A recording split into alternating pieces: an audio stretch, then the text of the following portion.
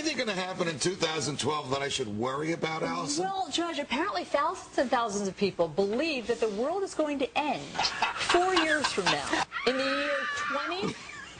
Well, don't panic yet, everyone. Was that in the year 2012, um, yes, our producers are screaming in the green room.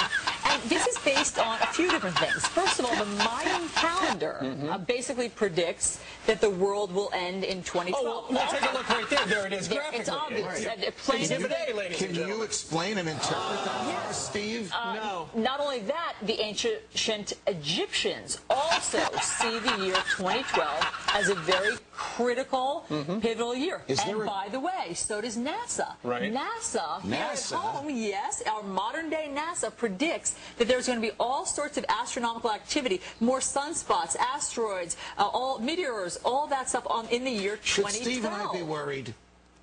I think so. I do. I All think right. we should. Here's the write the thing. will.